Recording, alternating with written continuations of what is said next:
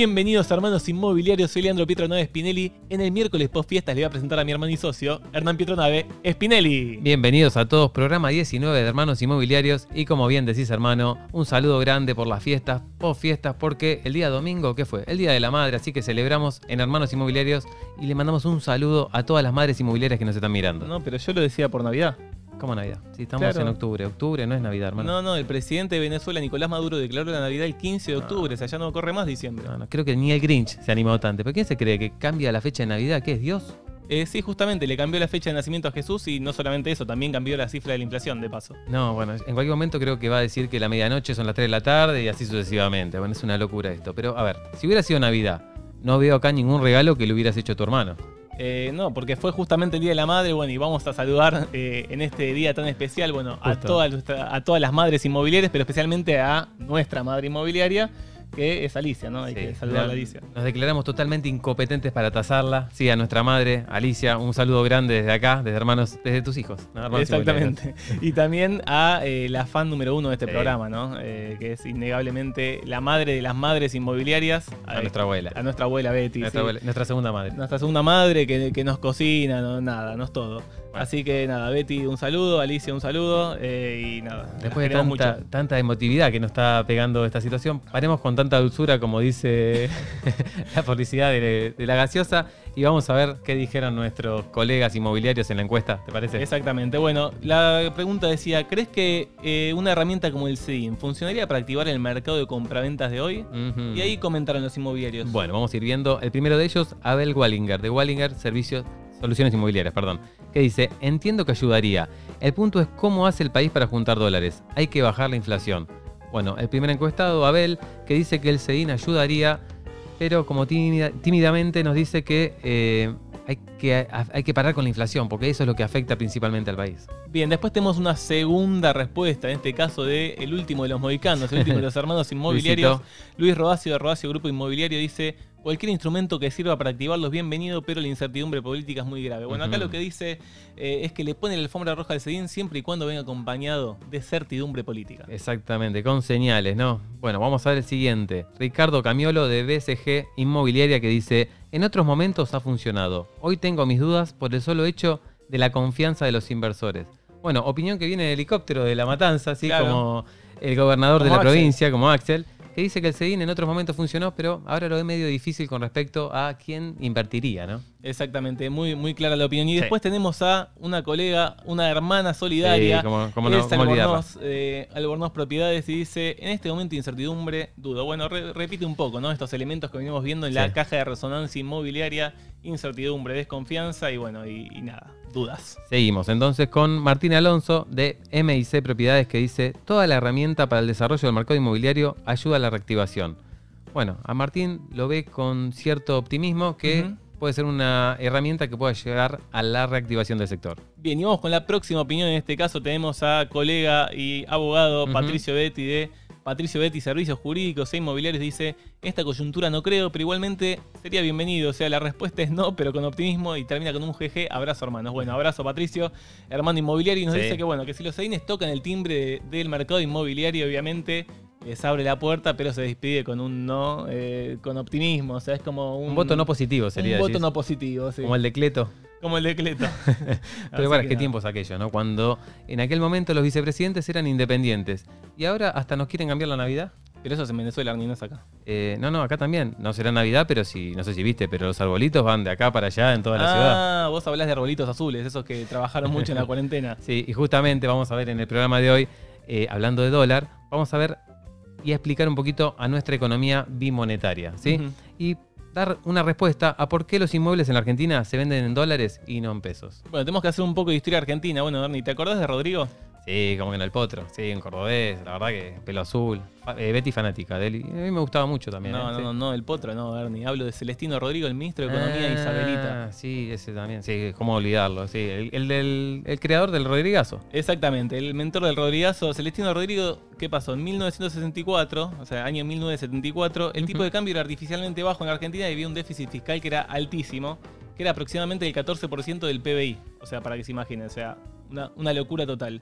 Y eso estaba cubierto, obviamente, como siempre, ¿no? Eh, por emisión monetaria. Dijiste emisión monetaria. Sí. Y como siempre, ahora pasa exactamente lo mismo. Eh, es tan actual el mensaje que yo no sé si estás hablando de ahora, de hace 40 años. es bueno, historia esto, vamos. Es historia total. En ese momento había un control de precios y comenzaba a haber un desabastecimiento también de determinados productos esenciales, como podía ser alimentos, combustibles. Exactamente, y ahí aparece el gran Rodrigo, o sea, el Rodrigazo, eh, de la pequeña Isabelita, quien eh, creó bueno, un plan de ajuste ¿no? que fue anunciado el 4 de junio de 1975, eh, con el objetivo justamente de eliminar la distorsión de los precios relativos. Rodrigo, que fue colocado a dedo por su amigo López Rega, eh, había impulsado, exactamente, el brujo, había impulsado una fuerte devaluación del 61% para el cambio comercial y del 50% para el cambio financiero. Pero Arnie, ¿sabes que ese mismo día, el 4 de junio de 1975, Rodrigo hizo un anuncio que les va a sonar familiar tanto a vos como a todos los que nos miran? ¿Sabes cuál es? ¿Cuál? El dólar turista. Ah, eh, siempre pasa lo mismo, ¿no? En Argentina se repite todo, todo es un déjà vu total. Bueno, la historia del desdoblamiento continúa y siempre se da en la Argentina, donde tenemos tantos dólares, ¿no? Como pensamientos y, y negocios se pueden llegar a dar.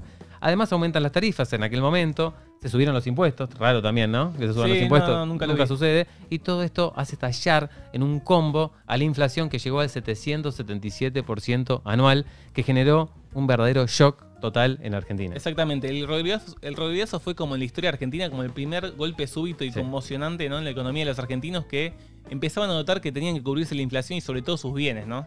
Mira, y, la forma de salvaguardar su patrimonio, el bien más preciado, que es la casa, eh, los argentinos eh, pretendieron a partir de ese momento buscar una forma de resguardo, en un valor, en una moneda que le dé justamente esa tranquilidad de que no va perdiendo precio y valor a cada momento. Exactamente, en ese caso ahí apareció el dólar, o sea, nuestro tan amigo el dólar que todos los días eh, es noticia en Argentina. Y bueno, el primer aviso, me voy a hacer un poco más de historia, el primer Dale. aviso de una propiedad en venta en dólares fue precisamente, mira, el 16 de julio de 1977. Y de allí en adelante los, los inmuebles y los dólares jamás se divorciaron. O sea, ahí sí. empezó. Y parecen aparte ser felices para siempre, ¿no? Porque demostraron que es un matrimonio confiable, estable y que ya por el tiempo se está acercando a las bodas de oro. Exactamente, pero para ver lo perdurable y sólido que fue este matrimonio ¿no? del dólar y los inmuebles, dejemos de hacer historia y vayamos a un ejemplo actual, económico, basándonos en la eh, declaración de la ministra Bielsa que dijo Oh. debemos pensar los metros cuadrados en pesos. Bueno, vamos a, vamos a hacer así, vamos a hacer un ejercicio. Vamos a confiar en la ministra, ¿sí? Porque Dale. algo va a salir mal, no. No, no, hay que confiar en la Imposible. No, no, no. Vamos a confiar en la ministra. Vamos a situarnos en el 10 de octubre del año pasado, 2019. Reciente. ¿Te parece? Sí. Y supongamos que decidimos recibir por una propiedad evaluada en 100 mil dólares, su equivalente en pesos, que en aquel momento era un tipo de cambio de 63 pesos, estamos hablando de 6 millones 300 mil pesos. Y nos quedamos con los pesos. Salgo a hacer la operación, o sea, yo estoy todo contento porque, nada, con mis pesos. Nada ahí. puede fallar. Claro, porque confío en la ministra Sí. y nada puede salir mal, entonces eh, los guardo en una cajita, ¿no? Eh, y hace 11 días, o sea, el 10 de octubre de este año, es decir, un año después de que hice la operación especificada, me puse a agarrar, ¿no? La, la plata justamente de la cajita, los pesos, y digo, a ver, ¿con, cuánt- con estos billetes de colores, ¿no? Eh, ¿Cuántos dólares compro? Y por la duda que tenés, me parece que no sé qué tipo de decisión o qué tipo de respuesta le vas a dar a la ministra. A ver. No, no, eh, 37.700 dólares. Ah. ¿Y los 100 mil? 37.000. Eh, entonces, vos me estás diciendo que la economía argentina, la inflación, te comieron, te sacaron, te saquearon el 63% de tu patrimonio, de tu bien en un, en un solo año. en un solo año y esto bueno nos demuestra por qué el peso no puede ser considerado una moneda, ¿no? Por esta volatilidad que se ve, ¿no? Ah, o, sea, es no imposible. O sea, no tiene piso, no es que el dólar no tiene techo.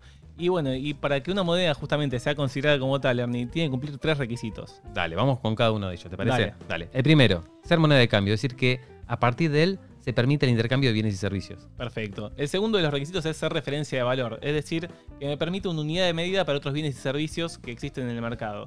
Es decir, el famoso, o sea, qué es caro y qué es barato, ¿viste? Cuando vas al supermercado, Sí. bueno, es lo mismo. O sea, es eso. Y voy con el tercero, Por que es el más importante en este caso, que es el resguardo de valor. Es decir, eh, ese requisito que la moneda va perdiendo cuando tenés inflación y te come a la moneda.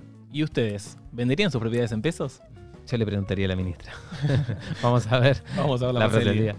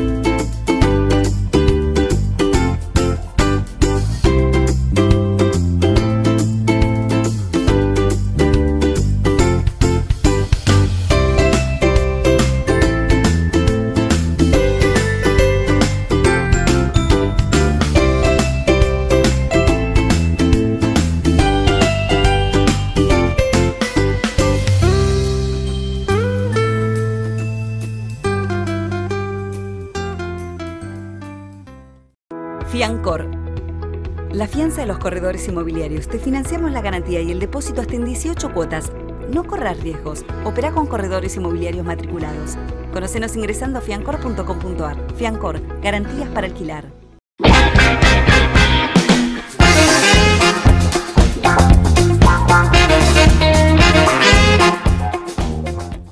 Nuevo bloque de hermanos inmobiliarios y estoy solo en el estudio para presentarles la sección que esperamos todos los miércoles, historias inmobiliarias. Historias de propiedades, terrenos, casos emblemáticos que quedaron en la memoria colectiva de la sociedad. Historias que incluyen causas judiciales, crímenes, corrupción y curiosidades. En este episodio 19 de Historias Inmobiliarias, hermano, ¿te me fuiste a Mar del Plata? Hermano, me vi una ciudad que realmente amo. No en vano le dicen la feliz.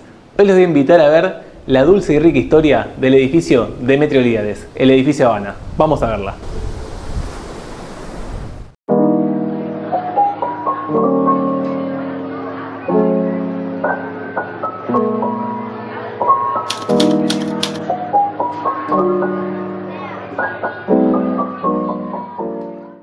Demetrio Líades era un empresario nacido en la isla de Creta que en el año 1947, junto a dos socios, creó la fórmula del alfajor Habana.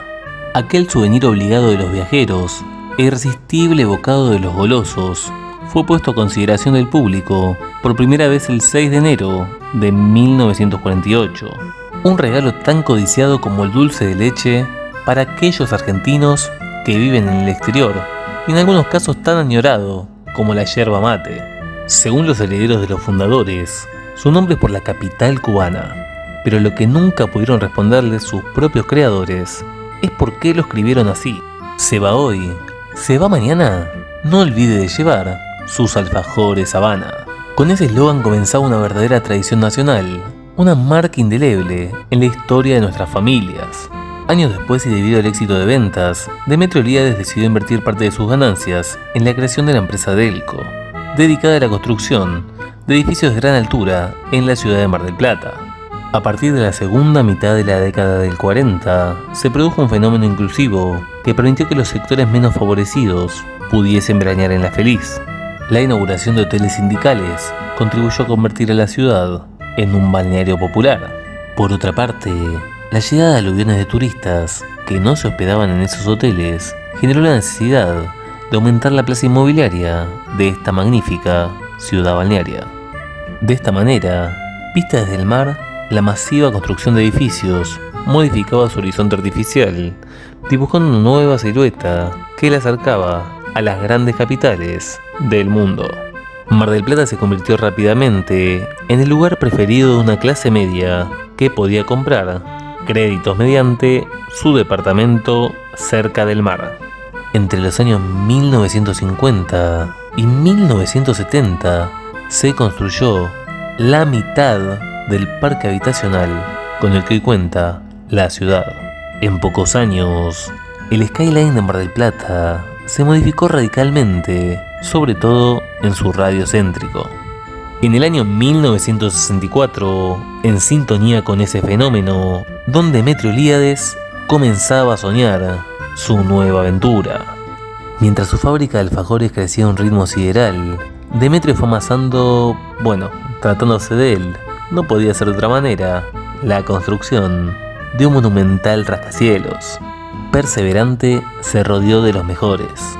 El arquitecto Juan Antonio Dompe le acercó los planos que reflejaban su idea con total precisión. Este ilustre arquitecto fue artífice de otros puntos de gran valor patrimonial marplatense, como el edificio Edén sobre Plaza Colón o el Palacio Cosmos, esa monumental obra que se abre como dos hojas de un libro en la base de la loma de la Avenida Colón.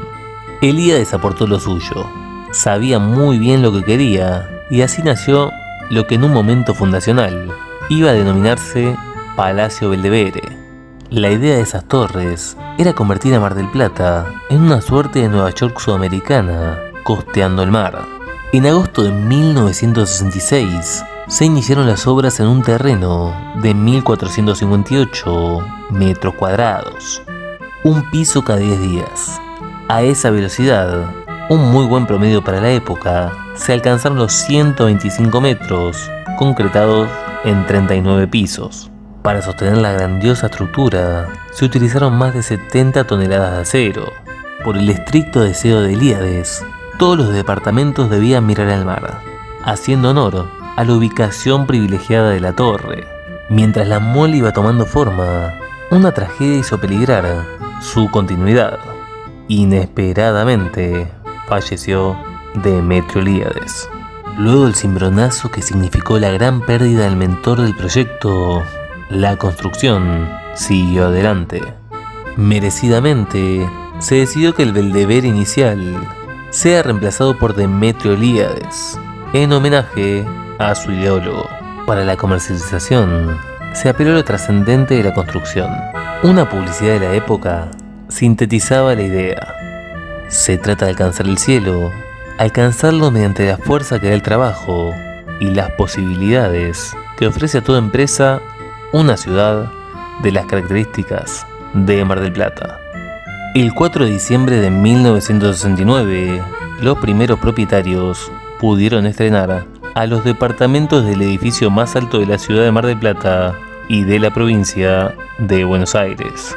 En ese momento era el segundo más alto del país, siendo solo superado por el edificio Alas, ubicado en la avenida porteña Leandro Benealem. El Habana incluso más alto que el coqueto Cabanal, de nuestra historia inmobiliaria del episodio 8. Sobre su terraza que en no pocas ocasiones se encuentra atravesada por las nubes, se emplazó el famoso letrero luminoso que promociona la marca de alfajores, que bautizó al rascacielos. Se emplaza allí, sobre el Océano Atlántico, en el Boulevard Marítimo Patricio Peralta Ramos, esquino La Barría, a pocos metros del Torreón del Monje, Gran Hotel Provincial y del Casino Central. Imposible pensar en la foto marplatense sin el Habana ese mojón que se observa imponente desde toda la ciudad. Este edificio no solo esconde una rica historia, sino también que es morada de vecinos ilustres. El ídolo familiar, Carlitos Balá, es uno de ellos. Vecino de Balá es el pianista Bruno Gelber, otro fanático de la ciudad que decidió comprar un departamento en la torre. El Demetrio Eliades habla de una época, un verdadero ícono de Mar del Plata, como los lobos marinos de la Rambla o las embarcaciones amarillas del puerto, y por supuesto, como los alfajores.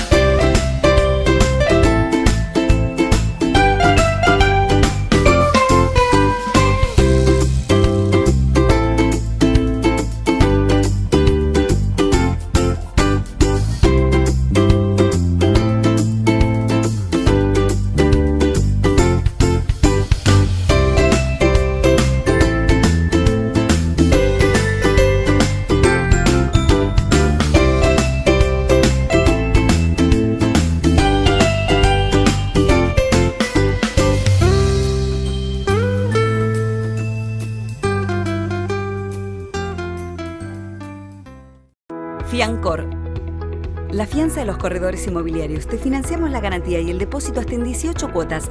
No corras riesgos. Opera con corredores inmobiliarios matriculados. Conocenos ingresando a fiancor.com.ar. Fiancor, garantías para alquilar.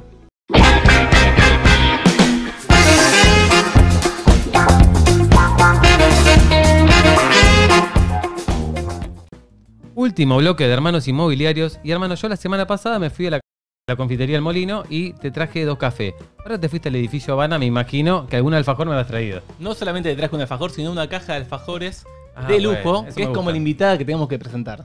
Es titular de Imomax Soluciones Inmobiliarias. Es además integrante de la Asamblea del Colegio Profesional Inmobiliario de Cusicua, Así que le damos la bienvenida a una nueva hermana inmobiliaria con nosotros. Andrea Silvina Varela. ¿Cómo estás, Andrea? ¿Qué tal, hermanos inmobiliarios? Hola, André, ¿cómo estás? Muy Bien. bien, ¿ustedes? Eh, Según- acá veo, Muchas para. gracias Eh, por la presentación. Viste, invitada de lujo como la caja de alfajores premium. Sí, eh, para la marca vamos a taparlo un poquitito porque no, no, No, pago chivo. ¿no? Salvo que después le mandamos el video y veamos si Ah. podemos arreglar un cachet. Esto se lo lleva igual Andrea. Bueno, Sí, Yo, yo lo voy a donar. Igual, ¿sabes? Que te esté donando esto es más o menos que te esté donando un órgano para mí porque en cada noche yo me lo iba a llevar para el postre, pero se lo voy a dar Bueno, a lo Andrea. compartimos. Bueno, Muy dale, bien, muy bien, intimita. Me parece bien. Bueno, André, eh, contanos un poquitito, en primer lugar, a cada uno de los que nos está mirando. Eh, el día domingo fue el Día de la Madre, bueno, un día muy especial para todas las madres inmobiliarias también que saludamos en nuestro día de miércoles, pues es el primer día de nosotros posterior a- al Día de la Madre. Y nosotros estamos en Argentina, ¿no? Argentina, turbulencia, eh, crisis, inestabilidad. ¿Qué es más difícil en Argentina, ser madre o ser inmobiliaria? Es una pregunta de exportación esta, porque, porque es en Argentina, es a ver si en el mundo Eh, piensan igual. Bueno, en mi caso, que tengo una hija que nunca me dio trabajo, eh, es más difícil ser inmobiliaria. Muy bien, muy bien. Muy bien, muy bien. Pero porque es un sol mi hija. Ah, bueno, bueno, o sea, que viene de- como del otro lado, o sea, no, o sea, como que el- desde el otro lado te lo hicieron fácil. Claro, Claro. sí, sí, tal cual. El crédito se lo lleva a tu hija. Pero, en este caso. sí, pero, pero además, sos la primera dama del fan número 2 de este programa. Autodeclarado fan y le dimos también Sí. el reconocimiento acá en el programa porque lo merecía el amigo Sergio Amato para los que para los distraídos que miran el programa. Ujú. Eh, queremos meternos como moscas en ese hogar inmobiliario. A ver, ¿qué pasa? ¿Qué, ¿Cómo es la dinámica del hogar inmobiliario ese?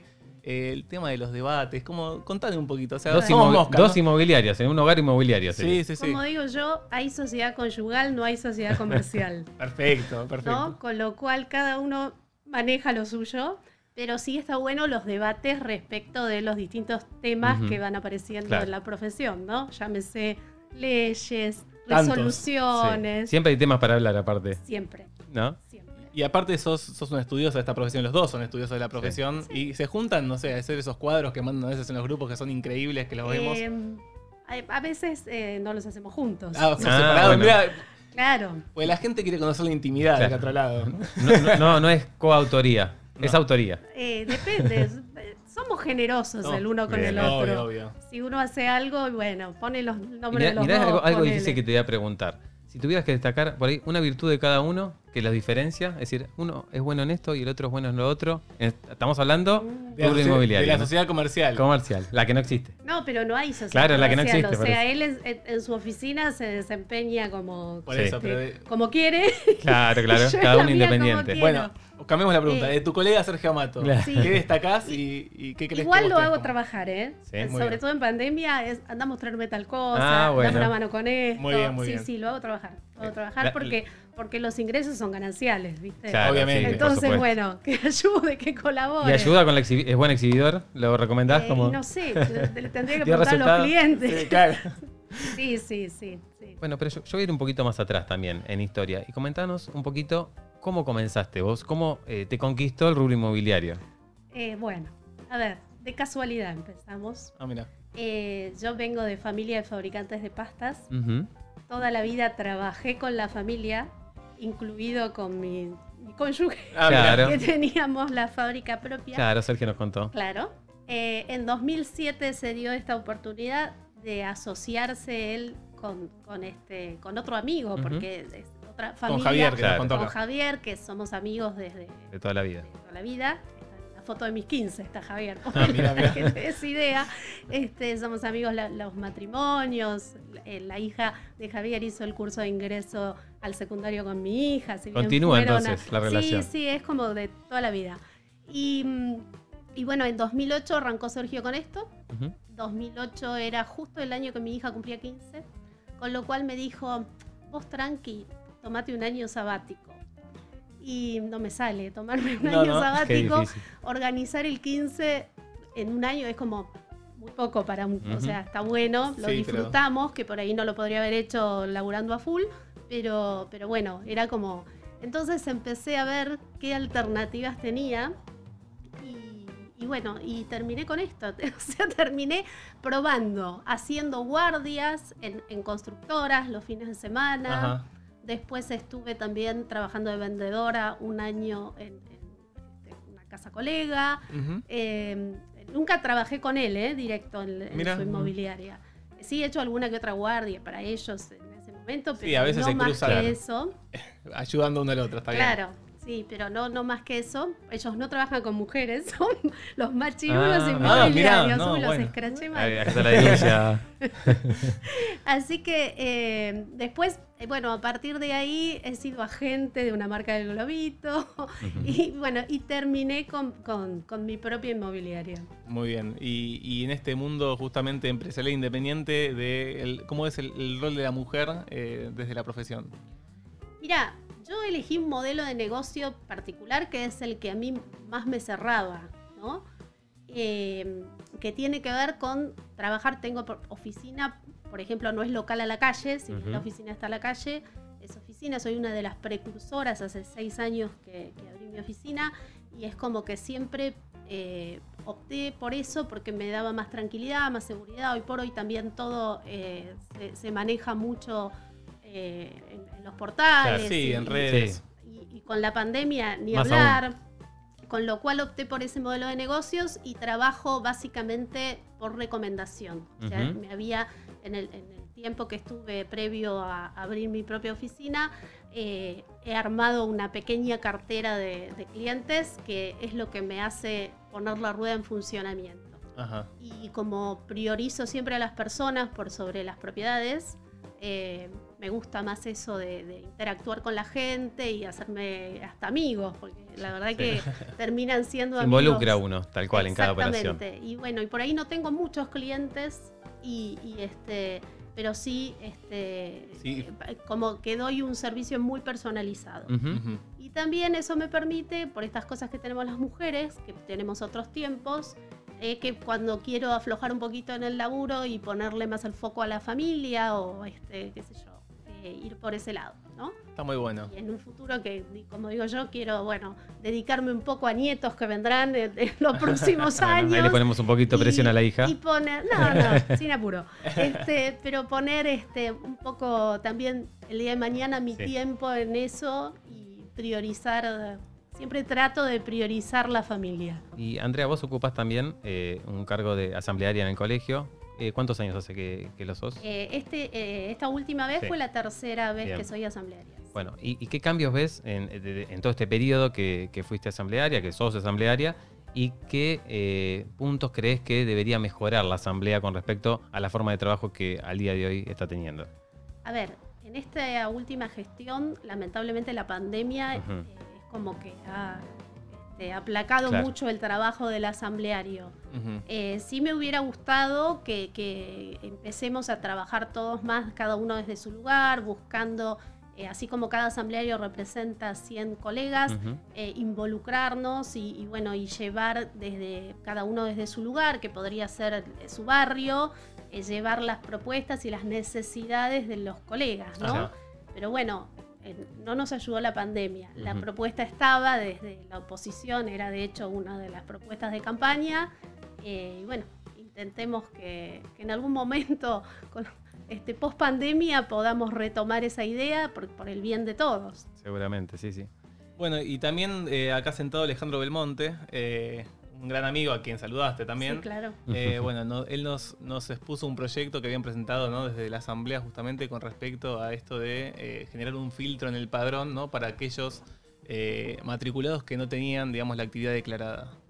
contale no solamente al inmobiliario que está sentado, sino también a la sociedad en general, eh, ¿en qué beneficiaría que este proyecto se lleve a cabo? Creo que había otros colegas también, entre ellos Sergio, pero si querés nombrarlos a todos. La realidad es que hay muchos colegas que, sentimos esta necesidad de que se filtre el padrón, porque es en definitiva lo que cualquier cliente puede verificar a la hora de hacer una operación inmobiliaria. Claro.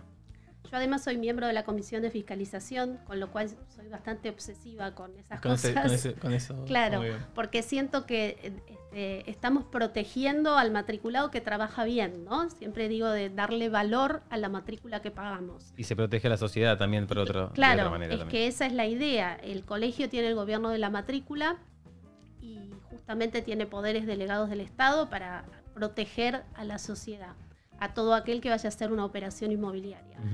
Eh, hoy por hoy tenemos un alto porcentaje de colegas que tuvieron su matrícula y figuran en el padrón con actividad no declarada. La idea, eh, o sea, en realidad uno al recibir su matrícula tiene que presentarse en el colegio y fijar un domicilio, un teléfono, ¿no? Exactamente. Este, el nombre con el que va a operar, que es la manera de tener su matrícula activa con actividad declarada. Cosa de que cualquier cliente que quiera hacer una operación pueda verificar, a ver, fulana, Andrea Varela, listo, tal matrícula, opera en tal lugar con tal nombre. Hoy por hoy hay mucha gente que colegas que tal vez por desconocimiento o tal vez porque no pudieron afectar el nombre que querían a su matrícula, están trabajando con actividad no declarada. Eh, lo ideal sería que todos este, trabajemos bajo las mismas condiciones y nos pongamos en regla, que en definitiva es lo que corresponde. Tal cual. Bueno, y eso quedó al momento, estamos en una instancia y un proceso de eh, definición todavía. Por ahora, este, supongo que estaban trabajando desde consejo directivo para resolverlo ellos. Bien, estamos completando un poquito la idea que había eh, transmitido Ale cuando estuvo acá sentado. Y bueno, ya que te tenemos acá presente, queríamos completar también esa información. Y ahora, André, te traigo un poquito ya al mercado actual, ¿no? Eh, ley de alquileres, ¿no? Ya desde el primero de julio la tenemos en vigencia desde Max, ¿cómo, eh, ¿cómo ves el, resultado de esta ley en cuanto a tu trato con propietarios, con inquilinos? A ver, la ley de alquileres ya era poco feliz, ¿no? Previo a la pandemia.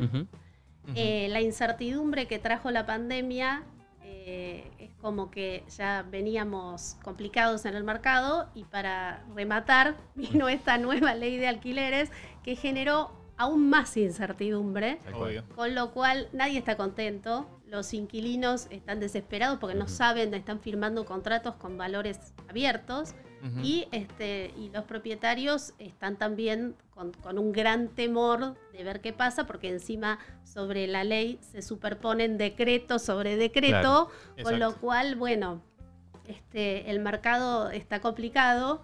Eh, se han retirado muchas propiedades de la oferta. En mi caso, varias este, ya han tomado la decisión los propietarios de vender otros que por ahí te dicen, bueno, no, espero a ver qué pasa, que, bajen las aguas y después veremos si vendo o vuelvo a alquilar cuando se desocupan los inmuebles.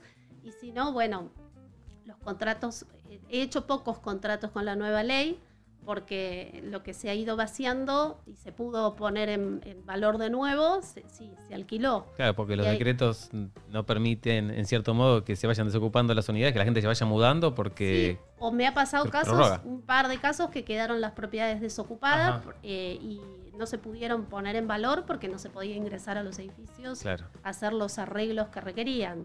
Entonces, bueno, es todo este, una gran complicación.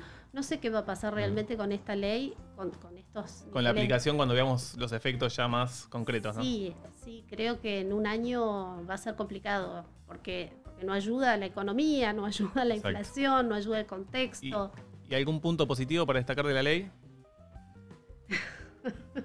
Dale un tiempito para que piense el eh, el único punto positivo es, es el artículo 1351 creo que es el único punto positivo, eh, que, bueno, que, reconoce al profesional inmobiliario, ¿no? Y, su actuación eh, como intermediario. Después, todo lo demás, yo no encontré a nadie que esté contento. Por ahí algún este, representante de inquilinos, pero... Con otro fin, tal cual. Pero tal cual, sí. No, de la aplicación práctica y de la operatoria como estamos todos los días nosotros.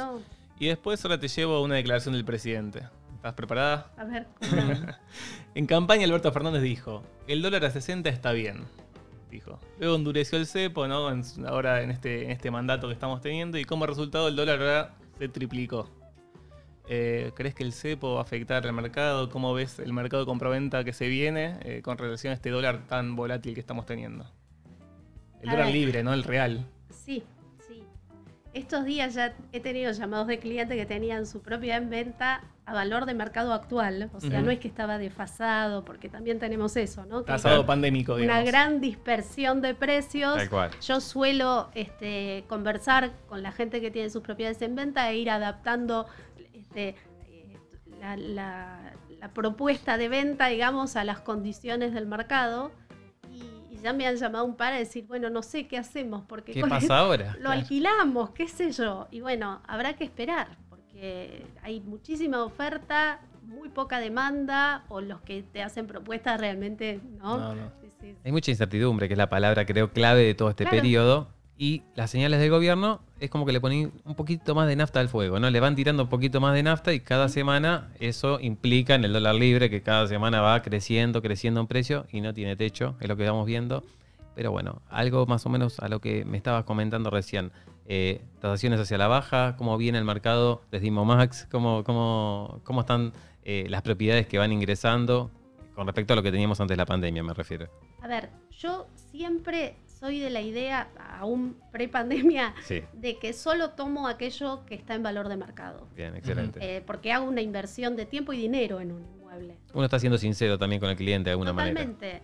Y, y, además tengo como este, la, la costumbre, no, tengo, o sea, no es que tengo como, la tengo, la, costumbre de trabajar en exclusiva, con autorización, o sea, soy bastante como fanática de todas esas cosas, entonces reúno toda la documentación, verifico todo, firmo autorización y publico valor de mercado. ¿Por qué voy a hacer una inversión que obviamente para los inmobiliarios chicos esas inversiones pesan mucho más que para aquellos que tienen una gran cartera? Obviamente también ofrezco, como dije antes, un trabajo muy personalizado, entonces hace que este, sea más cara, si se quiere. o aunque cobre lo mismo, para mí el rendimiento va, termina siendo menos. Eh, y entonces, bueno, suelo, como te digo, tomar solo valor de mercado. Estamos en un mercado que además tiende a la baja, porque en un mercado con tendencia a la suba, vos tomas algo eh, por ahí un poco desfasado y a la larga en el tiempo se te acomoda. Pero bueno, este, hoy por hoy es como estar viendo eh, permanentemente los valores de publicación. Eh, si taso algo, ya le explico a la gente que esto es hoy más que nunca 15, 30 días, no más que eso, que tienen fecha de vencimiento las tasaciones. Y, bueno, y la gran incertidumbre, eh, lo que la, la, profundiza aún más es que no hay una luz final del túnel. que vos digas, claro, porque no hay un plan económico, eh, debería haber una gran reforma eh, a, nivel Estado, eh, tributaria, laboral. o sea, es, digamos, es un giro 360, digamos. Sí, es tirar todo abajo y empecemos de nuevo. Y reducción del gasto público, tantas cosas ¿no? que generan estos desequilibrios, claramente. Sí, aparte de medidas, por ejemplo, nosotros que somos del mercado de la propiedad privada, esto de la toma de terrenos y demás, ¿no? Eh, ¿Qué postura tenés con respecto, respecto a esto? Yo creo que la sé, pero te la pregunto igual. a ver, eh es un escándalo lo que está pasando con el derecho de propiedad. Se están vulnerando demasiados derechos constitucionales. Y hablar con la autonomía de la voluntad, con estos decretos y demás. Eh, no sé dónde vamos a terminar si no empezamos a poner reglas claras, ¿no? Es imposible. Hay que refundar todo, como dije. ¿no? Hay que refundar todo el país, me parece. Sí. Está muy buen mensaje. Y quiero también cerrar con una, una, pregunta, pero que tiene que ver con una declaración de la ministra Bielsa, que dijo eh, que los argentinos tienen que empezar a pensar en el metro cuadrado en pesos.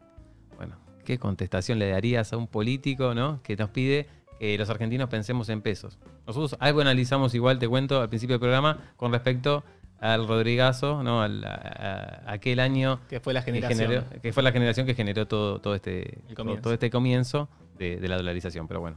Bueno, seguramente cuando este, no, tengamos una inflación sana y seguridad jurídica, podremos pensar en pesos el valor del metro cuadrado. Eh, o sea, no creo que lo vea yo. nosotros tampoco. No, sé. Si sigue esta casta política, difícil. Yo todavía me siento joven. No, sé. Mira, pasan años, años y nunca se termina de acomodar el país. Ojalá lo veamos. No sé. Este, yo, la verdad que eh, en mi experiencia de vida, nunca se ha hecho nada serio en el país que vos digas, eh, esto es, son las bases que, ¿no? Toda la política, todos este, los distintos partidos, sentarse a ponerse de acuerdo, es como cuando haces un edificio. ¿no? Las bases es lo que va a sostener ese edificio. Los cimientos de, la República. Si las bases están como mm. que medio endebles, se cae el, edificio. no se sostiene. Hay principios básicos que no deberían discutirse y hoy, como la propiedad privada, están en discusión. Y eso es un problema muy grande porque ¿quién va a venir a invertir en un país con, este tipo de problemas en, conceptos básicos? ¿no? Así que bueno, em, en nuestro programa, André, vos entiendo que algunos de los programas los habrás visto. ¿Viste nuestros programas? Sí, ¿Estás viendo? Muy bien. le, le, voy a tomar el examen. ¿Historia inmobiliaria preferida? Ay, no sé. Ah, una ayuda. ¿Fuiste a Little Park? Sí, ah, esa. sí. esa ayuda mucho. He ido mucho a Little Park. Y la entrevista, vamos a poner en aprietos, pero entre alguna entrevista en particular, no vale la de Sergio. No, la de Adriana, me gustó la de Adriana Burgos. La de Adriana, Sí, muy linda entrevista. Y bueno, eh, ¿sabes que tenemos también un mensaje igualmente para, para Andrea? Tenemos, sí, un primer mensaje para eh, Andrea Varela que lo vamos a ver ahora. Te invitamos a ponerte eh, los auriculares y ahora hay alguien que creo que, la conoces bien. Te va a dejar un mensajito. Vamos a verlo. Hola, Andre. Bueno, quiero decirte que estoy súper contenta de ser yo la que tiene el honor de grabarte hoy este saludito. Quiero decirte primero que te admiro un montón y que te aprecio muchísimo. Hasta hace poco más de un año te conocía de, pasada, de cruzarte en el colegio o de leerte en los chats. Cuando te leía decía, uh, mira esta mina, qué clara que la tiene, cómo fundamenta lo que dice. Y bueno, nada, me gustaba mucho leerte a partir de que se unieron eh, nuestros diferentes espacios políticos en Unidos por la Profesión, tuve la oportunidad de conocer otra faceta tuya y descubrir que sos absolutamente generosa y descubrir también todas las horas que le dedicas a esto que amás, que lo haces con toda la vehemencia que tenés, con toda la sanguinidad que tenés y encima que sos como una estudiosa de este tema y agradecerte enormemente en mi nombre personal y seguramente en nombre de muchos de los que están escuchando. Y otro agradecimiento es que eh, aceptaste formar parte de la mesa de análisis de equidad y perspectiva de género, que me encanta que estés eh, formando parte de esto, porque sé cómo encarar los temas en los que te involucras y bueno, vas a ser una pieza fundamental en toda esta este camino que gracias a Dios iniciamos eh, en el colegio. Te mando un abrazo y te vuelvo a decir que tengo una profunda admiración por cómo encaras las cosas. Te quiero mucho y gracias por todo. Bueno, eh, Adriana Burgo, justo la nombraste recién. Mira, parecía que estaba armado. ¿Cómo, está la producción? Eh? Sí, está full. La producción trabaja a morir. Ah, una genia, Adri, una genia también súper luchadora con otro perfil, ¿viste? Ella es como tranqui, conciliadora. Yo soy como más. Se complementa. Nosotros te dimos, te dimos en el barro ahí en la lucha de, cada batalla que tuvimos que dar los inmobiliarios. Así que sí, sabemos que tenés un espíritu luchador. Sí, para mí fue como un punto de inflexión, esa 58-59. para todos, creo, que me vino a cambiar este estructuras, ¿viste? Decir, bueno, hagamos algo porque si no estamos. A, veces la ilógica, ¿no? De la política, ¿no? Que genera estas, eh, nada, e, estas situaciones que uno dice, o sea, ¿cómo que no puedo cobrar por mi trabajo. Es mm. nada. Y bueno, eso no está pasando. Bueno, lo positivo es que eh, unió el sector de alguna manera, todas ante las crisis, ¿no? Generan este tipo de uniones y bueno. Nos conocimos entre eso, conocimos a Sergio, que estaba a unas cuadras de la oficina, pero a veces esa, esa frontera no se cruza si no pasan estas cosas. Lo que más valoro de todo esto que nos sucedió. es eso, que, nos ha permitido conocer gente que por ahí en otro contexto no, hubieras conocido.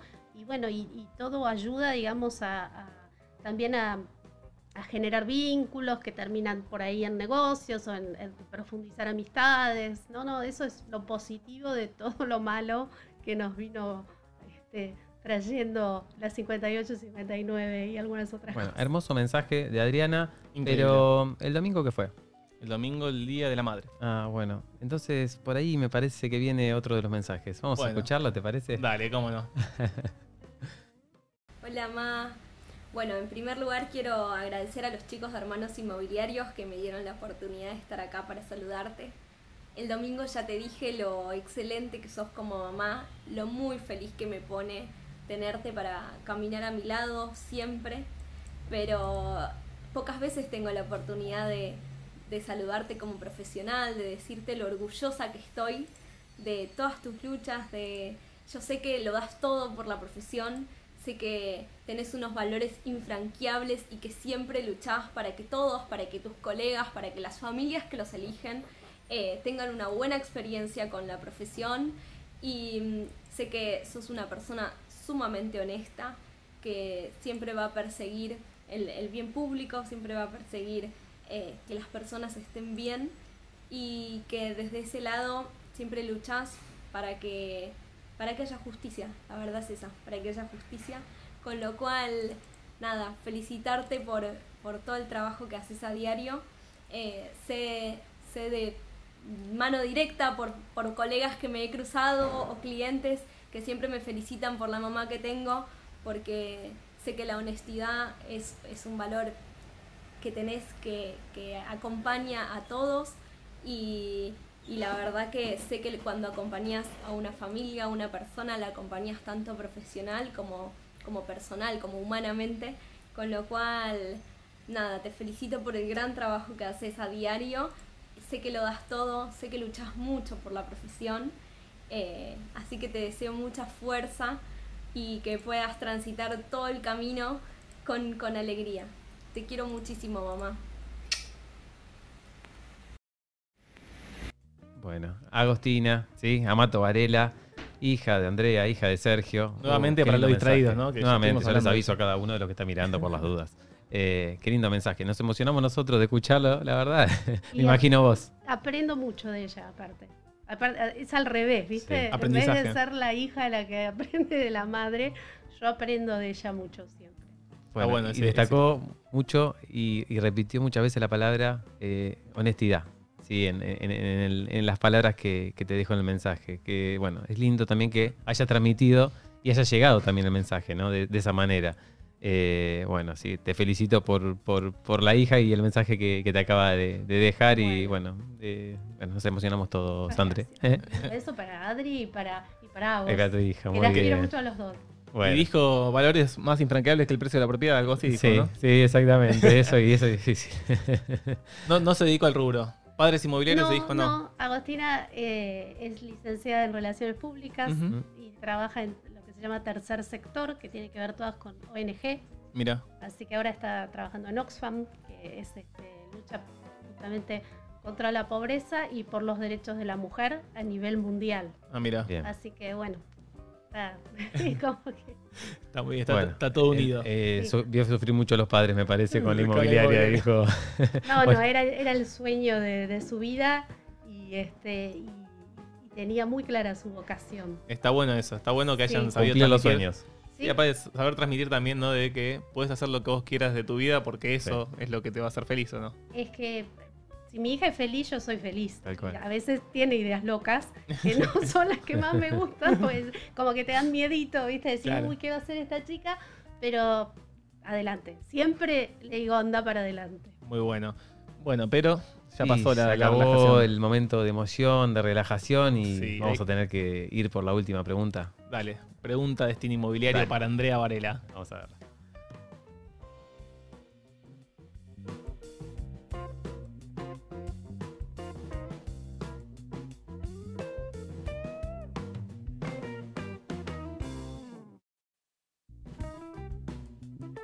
Bueno, a ver, eh, celebrando el Día de la Madre, ¿no? En Hermanos Inmobiliarios, en la fecha de hoy, pusimos dos palabras que representan, en este caso, a la invitada del día de hoy que tenemos, a madre o inmobiliaria. Y detrás de ella, una pregunta que mm, queremos que dice. ¿Cuál es? Madre, sin dudar. Vamos con madre. Bajamos la inmobiliaria. Bajemos la inmobiliaria y ya hablamos mucho de inmobiliaria. Perdón, quiero hacer una aclaración. Eh, una vez pusimos hermanos inmobiliarios acá con Federico Castromil y eligió hermanos. Ahora elegimos madre inmobiliaria y eligió madre. Lo importante de la familia en los inmobiliarios, ¿no? Mm. Sí, claro. ¿Qué, importancia? Listo, se me vino Lo quisiste decir, muy bien. la pregunta dice, ¿cuál crees que es la madre de todas las virtudes que no debe faltar en un inmobiliario? La honestidad. Muy bien. La honestidad, sin lugar a dudas.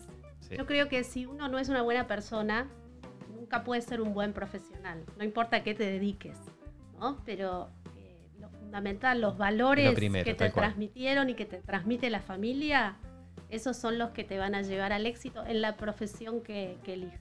Bueno, usamos una palabra de Agostina ¿eh? para, para el cierre de la palabra y la pregunta inmobiliaria. Bueno, André, realmente un placer haberte tenido en el programa. Perdón, perdón, has entregado los alfajores. Ah, verdad. No, ¿Sabes que me lo quería afanar yo? Porque... No, no, los compartimos, los compartimos. ¿Lo compartimos? Bueno, claro, obvio. Vamos, vamos. Compartimos honorarios. Bueno, muchas gracias. bueno, un placer estar acá. Muchas gracias por la invitación. muy linda, muy contraria. Bueno, terminamos entonces, hermano, con la pregunta que dice la encuesta del programa próximo.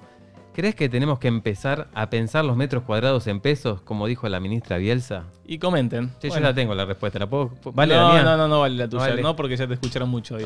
Así que, bueno. Se terminó el programa 19, hermano. Se terminó el programa 19. Nos vemos el próximo miércoles, como todos los miércoles, 19.30 horas, por el canal de YouTube de Steve TV. Gracias ah. por estar ahí del otro lado. Hasta la próxima. Feliz Día de la Madre. Igualmente.